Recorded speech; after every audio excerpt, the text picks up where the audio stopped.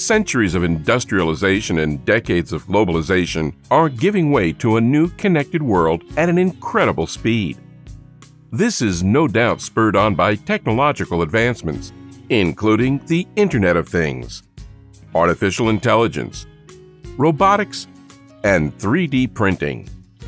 At the same time, today's connected world offers an even playing field where entrepreneurs have access to the same information, online tools, and apps, much of which is open source. With new shared co working space and makerspace popping up everywhere at low costs, the breeding ground for startups has never been better. But wait a second. One of the things that has also changed in the process is the very concept of what a startup is.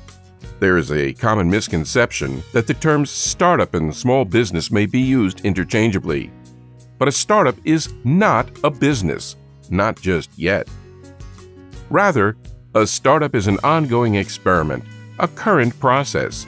It is a project with a beginning and an end where you engage in developing a business model a product or a service, and where you raise capital before commercializing your startup and transforming it into a real business.